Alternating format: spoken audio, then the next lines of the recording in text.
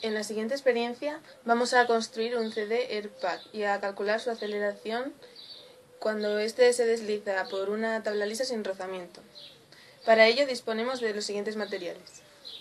Un CD, dos tapones de botellas de agua, uno normal y otro deportivo, un globo, un taladro, pegamento, cinta aislante, un tubo de cartón y tijeras.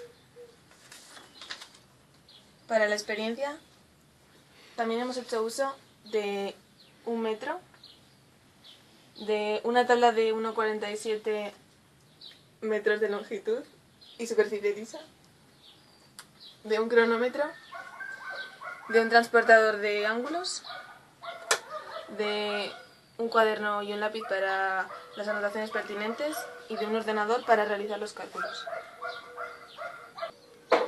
Para la construcción del CD AirPack comenzamos por realizar un orificio en el tapón normal con una broca de un 16 de pulgada. Posteriormente adherimos al centro del CD el tapón normal ya perforado y sobre él el tapón deportivo, con ayuda de cinta adhesiva para evitar fugas y de pegamento. Se corta el tubo de cartón cuya finalidad es mantener erguido el globo y se reduce ligeramente su altura.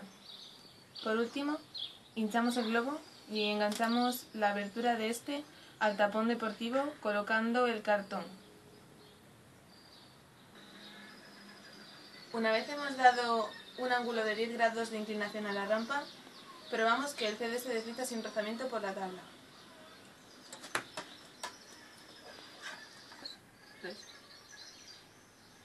Marcamos cinco distancias sobre la tabla. Tras ello, cronometramos el tiempo que emplea el dispositivo en recorrer la tabla y cada una de las distancias, realizando tres mediciones de tiempo por cada distancia y tomando como válida la media entre las tres.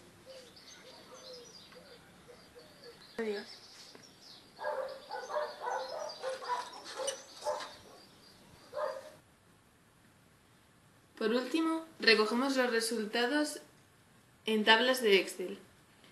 En la primera mostramos los datos obtenidos. En la segunda tabla pasamos los resultados a unidades del sistema internacional y hallamos la media de los tiempos en cada desplazamiento. A partir de la tabla anterior, construimos una gráfica que enfrenta el desplazamiento frente al tiempo. Finalmente, igualamos la ecuación del movimiento rectilíneo uniformemente acelerado con la ecuación obtenida a partir de la gráfica y concluimos que el valor de la aceleración es de menos 0,34 metros segundo cuadrado.